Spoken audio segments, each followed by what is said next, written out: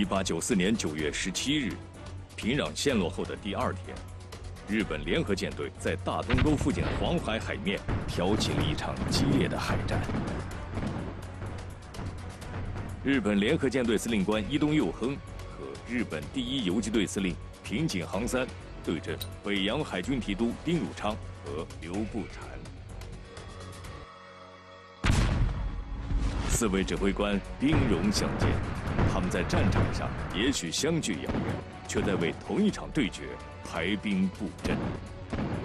本期节目，我们将在两位当代军事专家的带领下，走进1894年那场生死博弈。而另一组军事发烧友将通过实验，对比双方的装备、技术和军火实力，从而揭露大东沟海战的历史真相。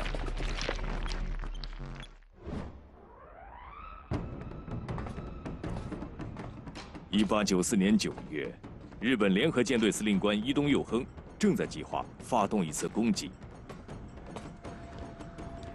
他要摧毁的对手是日本海军一直以来的宿敌——北洋海军。伊东佑亨这个人本身在甲午战争当中扮演了非常重要的角色，可以说他是当时日本海军当中资历最深的一个高级。前海军驱逐舰舰长方坤是研究海军史的专家，他非常了解伊东佑亨的性格以及战术思想。伊东本人呢，我个人觉得他是一个相对谨慎，同时呢比较长于谋划的这样一个海上指挥官。但是同时给他带来一个弊病：一旦他预先安排的计划被打乱之后，他会无所适从。或者是能够甚至导致战场的这种被动，或者是导致战场的这种指挥的失误。甲午战争爆发后，日本大本营希望联合舰队尽快消灭北洋海军，获得制海权。但伊东佑亨认为，时机并不成熟。一八八六年，由他出面接待了第一次访问日本的中国北洋海军的访日舰队。他第一次登上了当时号称是中国北洋海军灵魂的镇远和定远舰两个舰之一的定远舰。当时在全球各国海军当中，七千吨以上的铁甲舰大约只有二十艘左右，北洋海军就有两艘。那么这两艘军舰。是日本海军的眼中钉、肉中刺。伊东佑亨为何如此惧怕北洋海军的定远舰？现在曾参与复原定远舰的海军史研究会会员顾伟新，将为我们详细介绍北洋海军的主力舰船——定远舰。原舰是德国福尔坑造船厂在1881年为中国海军定造的，有一条同型舰叫正远。定远和镇远同属定远级铁甲舰，二舰当时堪称亚洲第一巨舰。定远的排水量是七千三百三十五吨，有四门幺八八零型克虏伯三百零五毫米主炮，有效射程是七千八百米。另外有两门一五零毫米克虏伯三十五倍镜副炮，以及各种机关炮，总共是二十二门。虽然跟英国、法国那些大型的铁甲舰相比，并不是很突出，但是在远东是无舰可敌的。所以说，这两条舰回国以后，日本人对其是非常忌惮的。这条舰称为铁甲舰，是因为它的舰体中部差不多占全舰三分之二的部位，围有一圈三百五十六毫米厚的铁甲堡，可以防止重型炮弹的穿透。这也是该舰称为铁甲舰重要身份的一个标志。北洋海军中拥有可怕的铁甲舰定远和镇远，贸然与两艘世界级铁甲舰正面对决，并非明智之举。为了追赶北洋海军，日本开始加快建设海军的步伐。法国设计师白劳义被日本政府高薪聘用为日本海军省顾问，他的任务是建造出可以对付定远、镇远的舰艇。白劳义为日本海军建造了日本联合舰队旗舰松岛号，排水量四千二百七十八吨。为了对抗中国定远级铁甲舰厚达三百零五毫米的装甲以及三百零五毫米口径的巨炮，松岛号把主炮后置，并采用法国造三百二十毫米三十八倍加纳主炮，炮身重量六十六吨，最远射程一万两千米，在八千米的距离内可以洞穿三百三十四毫米的铁甲。为了建造一支可以打败北洋海军的舰队，日本政府倾尽国力。这其中，海军军令部长华山资纪贡献最大。他本人曾经在日本的近代化海军过程当中发挥了一个非常强硬的作用，这种作用就是他力主购买大批的新式装备，来武装日本海军。从1886年开始，日本政府开始大量购买制造新式舰船。作为联合舰队的秘密武器，松岛舰在战争前才加入编队。所以呢，它出现了一种情况：它的舰员训练是相对薄弱的，比较落后。有很多舰上的我们讲这个海军的战士，他没有经过系统的、严格的训练。应当说，伊东佑亨他这个人对海军这个军种的特点是非常了解的。他当时得出一个结论，他认为当时的日本海军根本不足以和这个中国海军，特别是和中国的北洋海军相匹敌。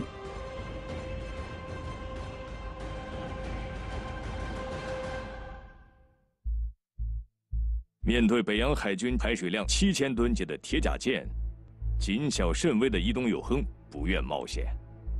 为此，他备受指责。如果伊东佑亨继续拖延，一直不与北洋海军进行正面对决，那么这意味着他联合舰队司令官的位置将被日本大本营撤换。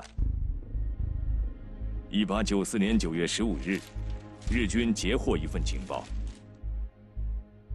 九月十七日会有大批清军运兵船在大东沟一带停靠。北洋海军会派遣小股舰队护航。伊东佑亨随即下令，联合舰队本队与第一游击队主动出击，攻击北洋海军的护航舰船。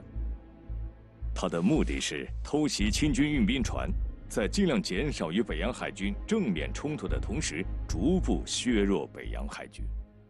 为了坚定伊东佑亨的作战决心，海军军令部长华山资纪。乘坐上由商船改造的军舰“西京丸号”，跟随督战。一八九四年九月十七日上午十点，日本联合舰队奔赴大东沟。二十分钟后，联合舰队发现东北方向海域上发现一束煤烟。伊东佑亨认定那里一定是北洋海军所在。随即命令所有舰船向东北方向驶去。随后，煤烟变成了十几束。伊东佑亨这时已经明白，距离自己数十海里之外的是北洋海军的全部精锐。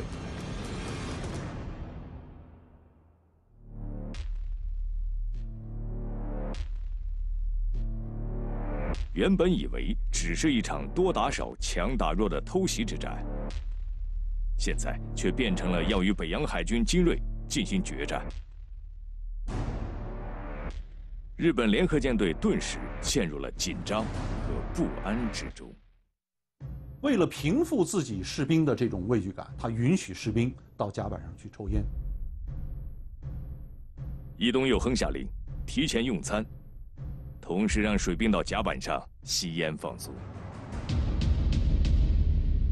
他已经知道。和北洋海军的决战即将开始。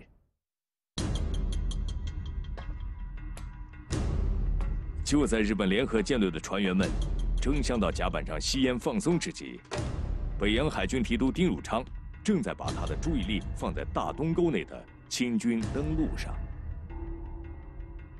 丁汝昌这个人一看像什么人呢？像一个苦力。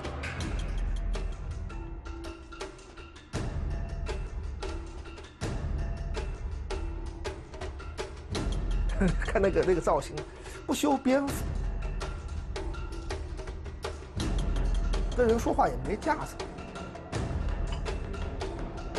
这总之，跟他接触过的中国军官不太一样。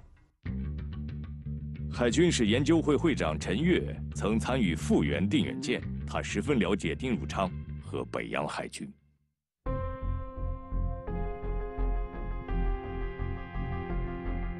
这种就是性格不是特别强烈的那种人，他去指挥战斗啊，往往就靠着让下属同情他，同情我的地位。你看看我被人骂成这个样子，你们得好好打，而不是那种喊一嗓子拿着刀往上冲那种，就是血脉铺张那样子去打仗。丁汝昌深知自己的温和性格会对管理舰队和对作战不利，因此他非常器重一个人。福建船政学堂一期生，致远舰管带邓世昌。邓世昌是北洋海军的大管家，同时这个人练兵很猛，大家认为这这是北洋海军的类似于他们的全军的一个胆。作为北洋海军中最勇猛的将领，邓世昌做事认真，一丝不苟。他管理海军过于严格，从军官到士兵都不喜欢他。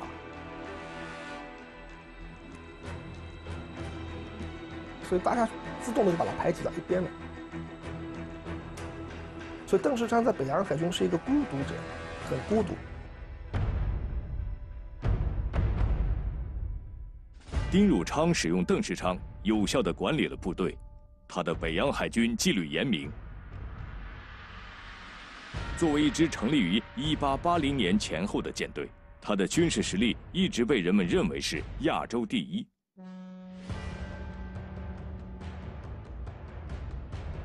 然而，北洋海军的提督丁汝昌心里清楚，这支舰队已经危机重重。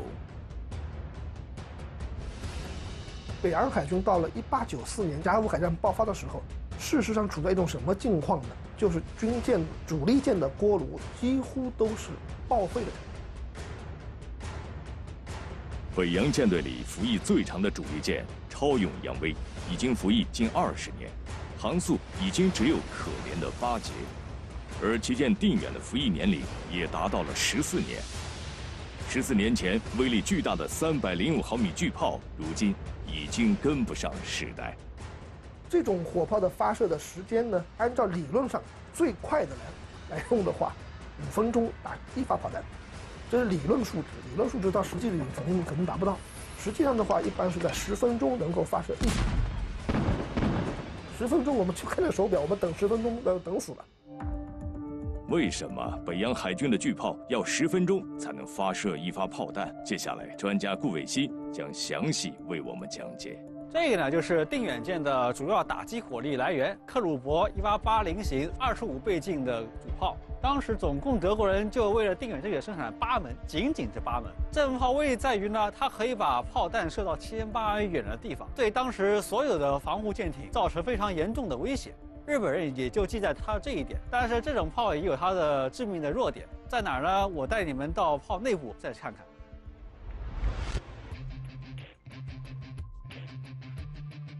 现在呢，我们来到了克虏伯主炮的炮尾，你们可以感受到它的炮的炮尾的巨大。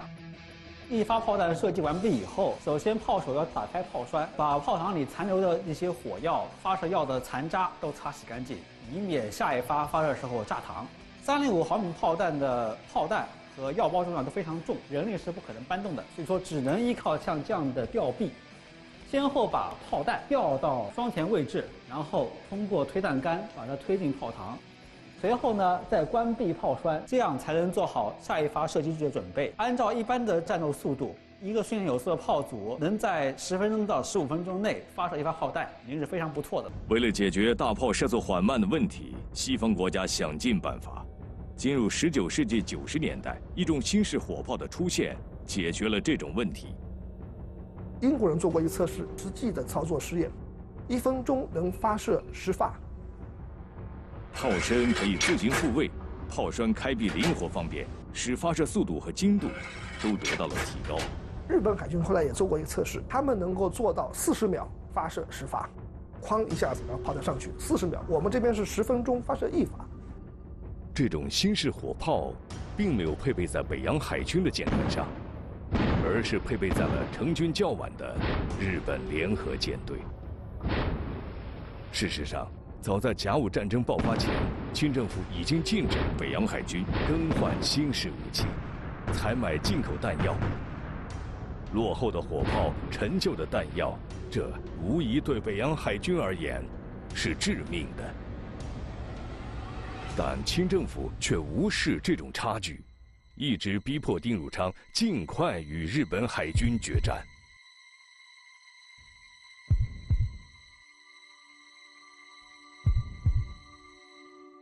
因为丁汝昌也知道日本海军的力量，你出去要跟他真碰了一下的话，那可能就是元气大伤，连将来就是在渤海游弋的那种资本都没有了。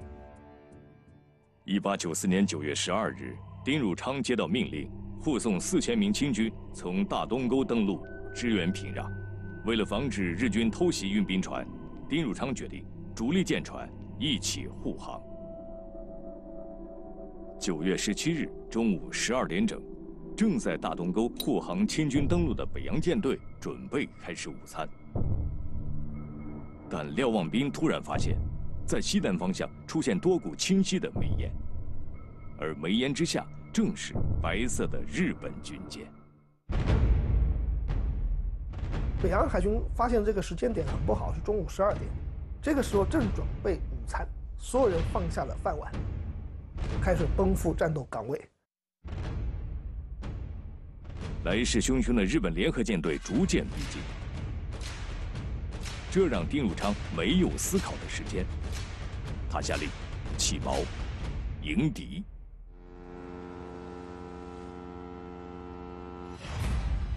一八九四年九月十七日十二点十分，北洋海军主力舰船结队起锚出发。丁汝昌明白，他必须抢先一步，在远离大东沟的位置阻滞住来敌。此刻，北洋海军与日本联合舰队相距十七海里。北洋海军最初派出两列纵队，而后以舰队中的两艘主力舰。定远和镇远为核心，其他各舰分别往两翼展开。逐渐展开的战术小队形成了一个略似人字形的横队，这便是北洋海军此战选用的横队阵型——夹缝雁横阵。这个阵型最需要军人们的士气，是一个以战斗为第一的阵型。两艘两艘为一组展开之后，狼群战术去扑敌方，往上冲锋，就是拼刺刀。丁汝昌深知北洋舰队的大炮射速太慢，所以必须扬长避短。在两艘巨大的铁甲舰的带领下，舰队冲到敌阵之后，铁甲舰会冲开敌人的阵型，然后两艘军舰一组，二对一消灭敌人。这是一种需要勇气、无法退后的阵型，速度至关重要。这是老丁选了一个世界主流的阵型，而且是选了一个要求舰员、舰长们对自己的军舰操控要特别熟练的舰型，也是一个没有退路的一个阵型。丁汝昌对这种阵型十分自信，因为他的手下有一位最擅长操作铁甲舰的指挥官——北洋海军又一总兵。刘步蟾，所以刘步蟾相当于北洋海军里面海归群体，就是从海外留学回来这些军官，还有船政学堂毕业群体的老大。刘步蟾是福建船政学堂一期生，毕业后赴英国学习铁甲舰操作，他是优秀的铁甲舰舰长，因此认为自己才是北洋海军提督的最佳人选。刘步蟾心里是暗地里不满的。老丁如果不被调走，一个萝卜一个坑，他不调走就不可能往上挪。我就永远是这个右翼总兵。在北洋海军中，刘步蟾与邓世昌的业务能力最强，他们都是舰队中的中流砥柱。这两个人的业务素养，以我的角度来看的话，应该是不输给当时世界上任何一个同样级别的海军军官的。但是这两个人都有一个短板，他们没有学过战役指挥，没有学过编队指挥，没有学过战战役规划，他们只是个舰长，但他们扮演的角色是一个舰队的指挥官。就在北洋海军结队驶向日本联合舰队的同时，伊东佑亨也下令，舰队排成纵队阵型。纵队战术的时候，他主要是利用自己的舷炮向一侧方向，采取急射的方式打击敌舰。联合舰队装备了威力惊人的速射炮，这种战术需要将敌人包围，然后利用火力优势打击敌人。日军之所以选择这种阵型，与一位海军指挥官息息相关。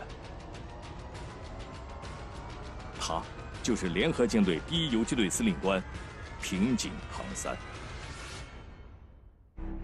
平井本人有非常正规的在海外学习、呃留学海军的这种经历，他非常了解海军，非常了解海军的发展，也非常了解海军的装备武器的使用。了解海军的这种战略战术的这种制定和应用，但是他的仕途并不顺。平井航三与伊东佑亨资历相当，但一直受到排挤。他比伊东佑亨晚了四年才被任命为海军少将。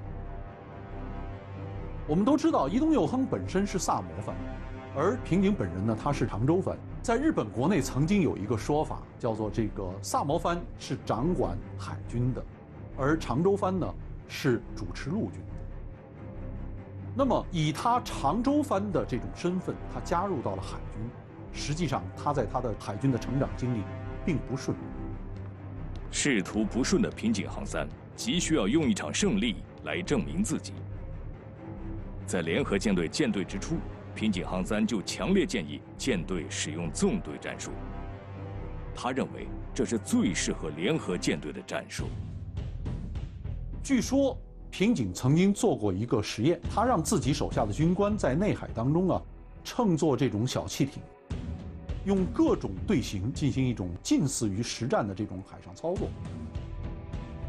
他发现，纵队实际上更容易保持自己的队形。纵队只需要将舰船船头跟随前方的舰尾，对于驾驶舰船的熟练度要求不高。极其适合新船员较多的联合舰队。一八九四年九月十七日，日本联合舰队主力舰组成本队和第一游击队，本队旗舰松岛号由伊东佑亨坐镇，而平井航三将速度最快的巡洋舰组成第一游击队，坐镇旗舰吉野号。我们在讨论黄海海战的时候，老忘记一个事情，我们老是以一种上帝的视角在看海战。就觉得好像是中方跟日方都互相看到了哦，日本人看到我们排了个横队，他排一个纵队，或者说北洋海军看到日本人排了个纵队，我们排了个横队。事实上，双方发现的时候，尤其是十二点中国舰队开始启动的时候，我们看到的敌方就是一些烟，从那个烟里面，我们是看不出日本人排了什么阵型。大东沟附近海域是一片浅水区。对于机动力不强的北洋舰队十分有利，但联合舰队势必也会用火炮扫射尚未卸载完毕的运兵船，因此丁汝昌决定将日本联合舰队引到深海决战。十二点三十分，平井航三指挥的日本第一游击队以十节的航速向呈人字阵型的北洋舰队右翼驶去，本队。紧随其后。由于北洋舰队中的超勇扬威航速只有八节，因此全队一直保持着八节的航速迎向敌人。照此下去，还未等北洋舰队接近并切入日舰编队展开冲锋战，日本第一游击队可能就已经绕到北洋舰队的右翼。右翼是我们两条最弱的军舰，超勇扬威，而且一旦开到右翼，就可能会包抄我们。九月十七日十二点五十分，在北洋海军距离日本联合舰队五千三百米的距离上，定远舰率先开炮。一颗重达二百九十二公斤的钢铁弹头旋转着飞出炮膛，杀向远方的日本第一游击队。巨大的炮弹呼啸着落在距离吉野左舷仅数百米的海中。北洋舰队以旗舰定远为号令，其他各舰相继开火射击，一颗颗炮弹落在日本联合舰队附近的海面上，掀起无数的巨浪。因为我没办法冲上去，但我又不想让你靠到我的腹背来，那我就用炮火来轰你，争取用炮火把你解决掉。北洋舰队的火炮射程较远，丁汝昌希望利用火力上的覆盖。迟滞日本第一游击队的速度。随着双方的距离越来越近，联合舰队开始发炮轰击。也就在这个对射的过程中，日本海军的一个火力显现出来了。第一轮齐射的时候，命中了定远舰。定远舰的前桅杆中弹，前桅杆中弹。上面的那面信号旗、提督旗全掉海里了，这在中国传统的战争传统里面是一个极其不吉祥的事情。就在前桅杆断裂后不久，一枚炮弹又在定远舰的飞桥甲板附近炸响。正在飞桥甲板上督战的北洋海军提督丁汝昌受伤，他已经无法再指挥舰队作战。但他坚持要在甲板上为士兵鼓劲。只要有人经过，他就慰问两句，对人家笑一笑，说你们好好打。从这个之后，这场海战的指挥权可以说是在刘步蟾手里。刘步蟾一直认为自己才是北洋海军提督的最佳人选。他渴望用这场战斗来证明自己的实力。丁汝昌受伤的同时，移动右舷的松岛舰也发生了问题。舰首三百二十毫米的加纳巨炮发射炮弹后，巨大的后坐力开始让船体倾斜。这样的巨炮已经无法再进行使用，这让移动右舷陷入苦战。松岛舰的哑火，让平井航三成为了联合舰队进攻的主要发起者。他与刘步蟾心里都明白，这是一场毫无退路的决战。刘步蟾的目标是尽快率领北洋海军冲散日军舰队，而平井航三的目标则是尽快将北洋海军包围。为了让第一游击队完成对北洋海军进行包抄的任务，平井航三下令，舰队航速提高至十四节。这与航速为十节的本队之间，拉出了一个大缺口。我们可以看得出来，他的这个性格是比较尖，也比较狠的。他急于想要在一场作战当中证明平井他本人。不是一个草包，他有他自己的海军的天赋，他急于想要争得一种荣誉，自己立头功或者自己立独功。平井航三已经逼近北洋海军最弱的右翼，超勇、扬威。他有一个非常重要的一个想法，就是我先冲击弱的，然后再集中攻击你强的。此时。刘步蟾在这场海战中最大的敌人平井航三开始发威，他的第一游击队已经到达北洋海军的右翼，开始对北洋舰队中最弱的超勇扬威发动进攻。在第一游击队快速的炮火攻击下，超勇在烈火中开始下沉。在超勇受到重创后，平井航三开始选择新的目标。此时，他发现北洋舰队的左翼空虚，他大胆命令第一游击队向左转向一百八十度，调转航向，从本队外围通过，向北洋舰队左翼驶去。此时，第一游击队已经有了包围北洋舰队的态势。如果第一游击队成功，那平井航三将成为这场海战最大的功臣。突然，伊东在他的旗舰上发出了一条非常含混的旗语。看到这条旗语以后，平井他没有按照他自己的意愿实施进攻。平井航三当时正准备绕到北洋海军后面去，这个时候突然间本队旗舰松岛升了一个旗语说回转，他一下子就懵了，我正在进行回转，你又让我回转，这到底往哪转？所以平井航三当时晕了。他既没有继续冲击北洋舰队的左翼，也没有去攻击右翼，而和他的本队随后运动。伊东佑亨似乎是想在未来的海战历史中记住一笔，记住这场海战的决胜的命令是由我伊东佑亨下达的，而不是第一游击队的自我行动。平井航三以为伊东佑亨是想照自己并肩航行，下令转换航向追赶本队。但处在外圈的第一游击队要追上处在内圈快速转向的本队，需要花加倍的时间和努力。为了节省时间，平井航三只好先在外圈尾随本队运动。此时，由于第一游击队在外圈运动，导致伊东佑亨坐镇的松岛舰暴露在北洋海军的炮口前。刘步蟾决定以敌舰松岛为目标展开攻击。十三点零四分，一枚炮弹击中松岛号。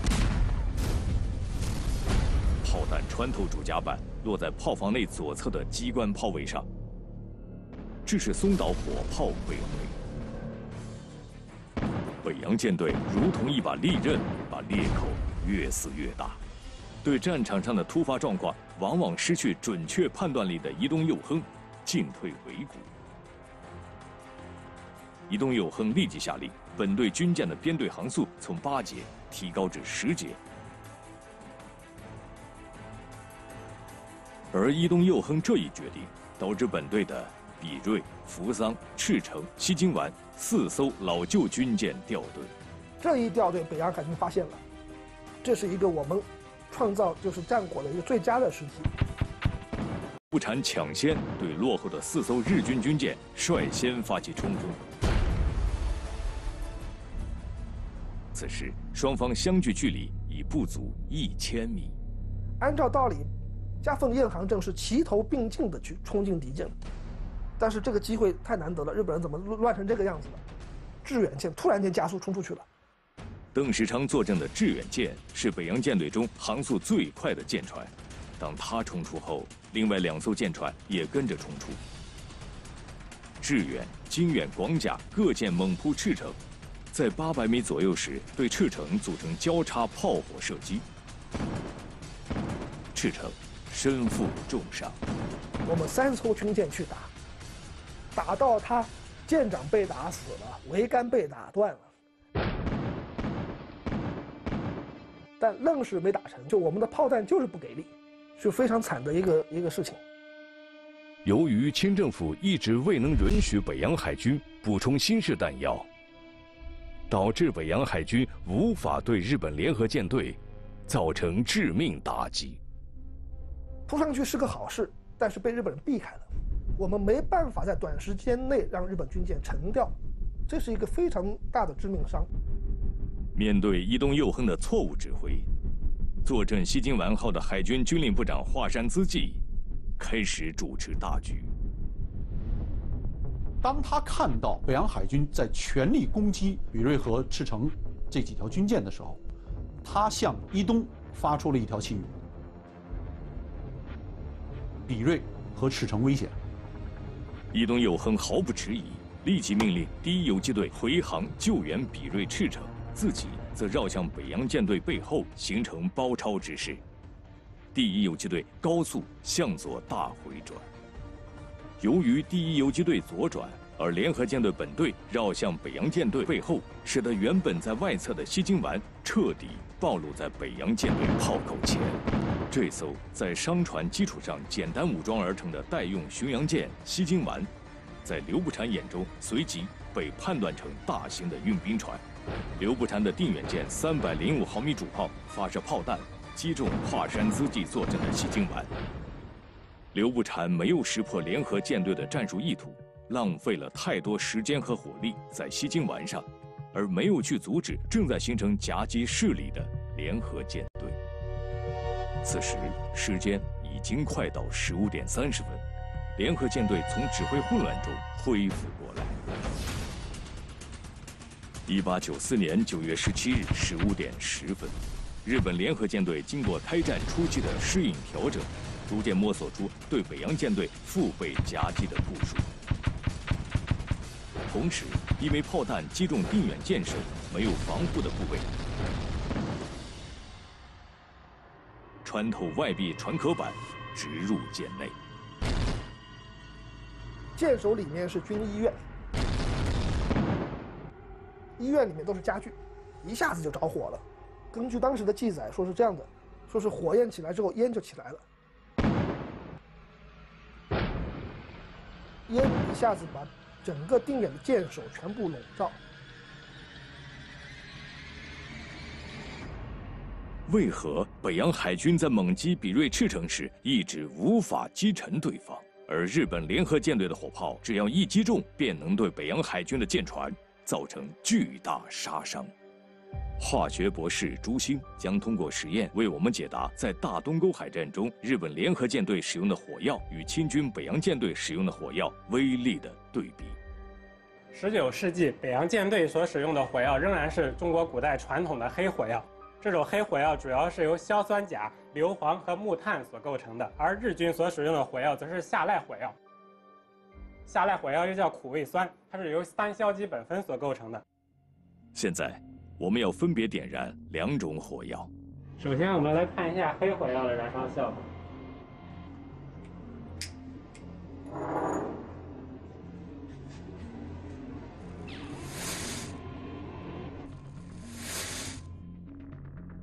清军黑火药的燃烧只有短短几秒。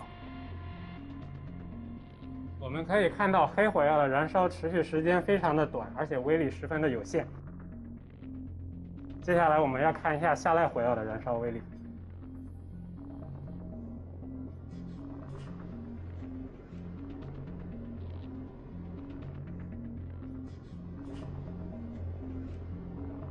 我们可以看出下赖火药的燃烧效果十分的惊人，这可能是由于它的熔点比较低，当它燃烧的时候，下赖火药会变成液体，从而像汽油一样让它燃烧蔓延，而且它的燃烧效果持续时间非常的长。下来火药产生的黄色有毒烟雾与木质家具燃烧产生的黑色烟雾，把定远舰完全笼罩。大火迅速蔓延至整艘舰船，定远炮火也被迫停止。行驶在定远前方的联合舰队本队开始集中火力攻击定远。密集的弹雨浇筑在定远身上，爆炸声接连不断响起。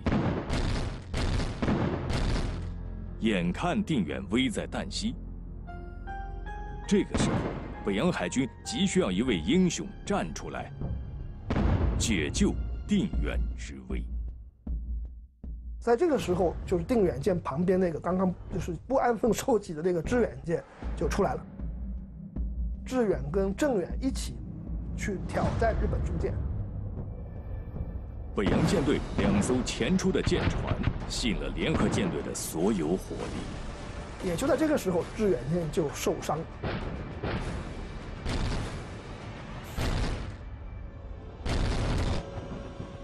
利用致远不惜生命换来的宝贵时间，刘步蟾指挥船员迅速扑火修理舰船，但。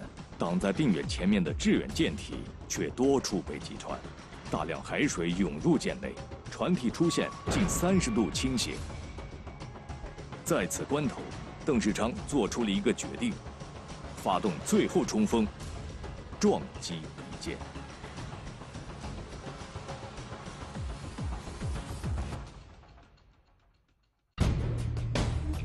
致远舰为何会突然冲向敌舰？邓世昌有着什么战术用意？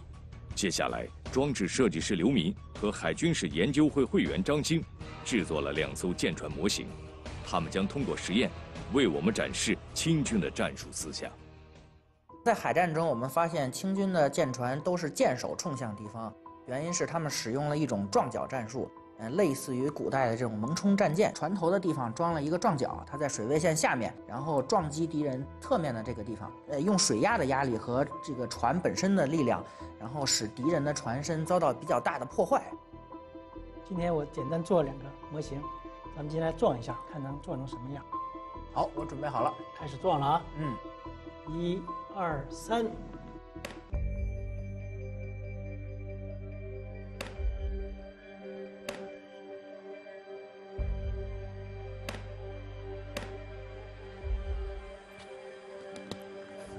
这个创口还是挺大的。那么可想而知，如果真的是在水上，再加上它的水压撞击的话，这个船一定会出现一个较大的漏洞。不过呢，就是要看北洋水师的船有没有机会来撞到日军的舰了。近几年的研究发现，致远舰冲出去的时候，它的目标很可能不是吉野舰，因为那个时候根据战场形势的判断，吉野第一游击队已经到了北洋海军的背后，在北洋海军正前方的，是他的本队松岛、岩岛、桥里这些军舰。联合舰队本队有着大量的速射火炮，火力覆盖极其凶猛，贸然向着冲锋，无异于自杀。他这个冲的意图，我的想想法是，绝对不是说是就是无谓的要去冲，我觉得是在一点半之后，他们几次向日本人冲锋逼近，冲锋逼近，老是靠不上去。他想再试一次，让全军跟着他一块来一下，得去跟人家白刃战，因为自己知道用炮战的话，我们是不可能打赢的。邓世昌知道，这是在舰船沉没前。他的最后一次机会。然而，面对联合舰队密集的火力攻势，他的船倾斜越来越厉害。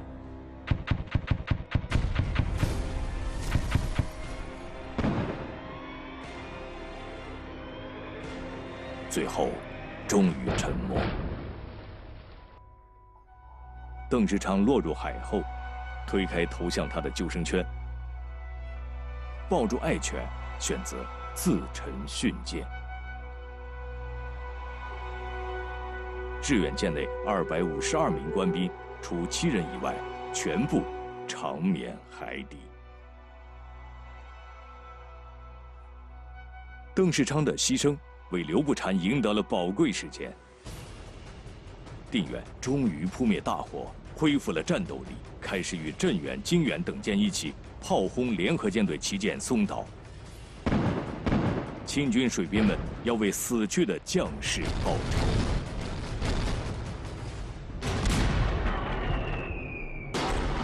十五点三十分，松岛堆满弹药的甲板被火炮击中，甲板上接连不断的发出巨大的爆炸声。它甲板上的舰员啊，基本上死伤殆尽，火炮没有人操纵。有一个材料记载，这个伊东佑亨没有办法把随舰的军乐队的队员弄上来。从舱里弄上来，让他们来操纵火炮。看着令人懊丧的情景，经历了四个多小时战火摧残的伊东佑亨，异常疲惫。十六点零七分，他下令在桅杆上升起特殊旗帜，不管，意思即各舰自由运动。这时。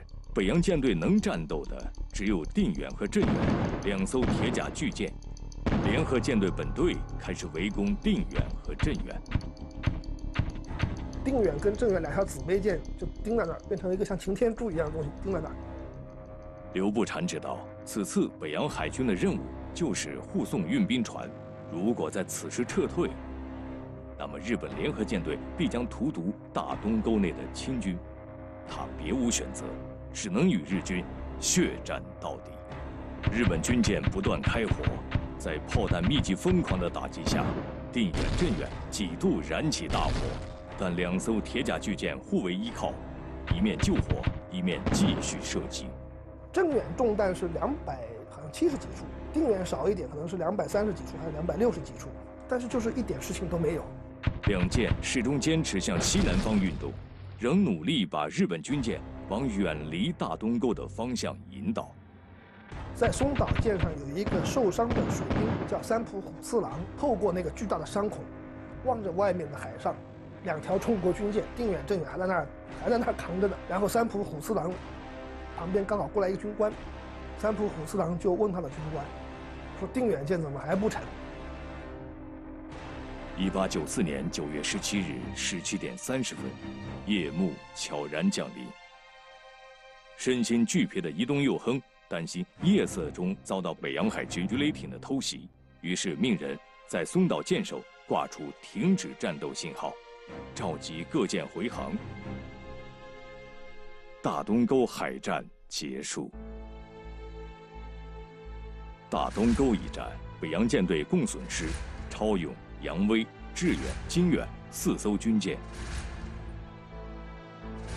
定远、镇远、靖远、来远受重创。阵亡提督前济民总兵邓世昌以下官兵七百一十四人，受伤一百零八人。日军松岛、比瑞、赤城、西京丸四舰受重创，阵亡九十人，负伤二百零八人。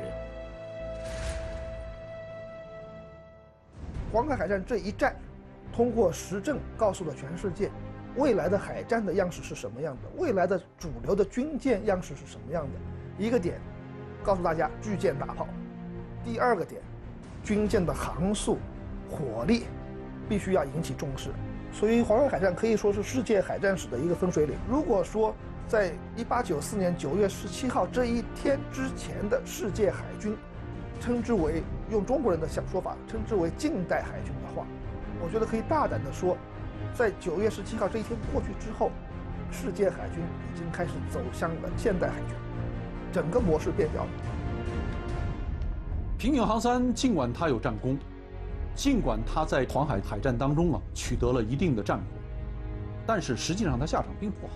战后呢，他也得到了提升，但是随后他就受到了追责。追责的内容是什么呢？就是你第一游击队为什么没有追随本队在战场机动？他认为这属于无理。所以尽管他后来的军阶也比较高。但是呢，他很快淡出了海军发展的这个中心的圈子。在这之后，平民本人的遭遇这个并不好，他五十五岁就郁闷而死。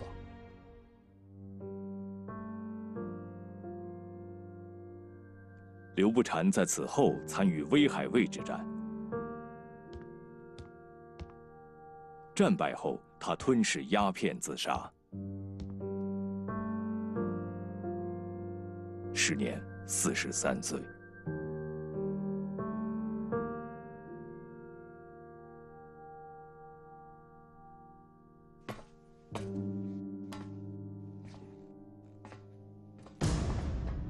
丁汝昌和伊东佑亨的对决还未结束，他们将在威海卫之战中进行最后的宿命对决。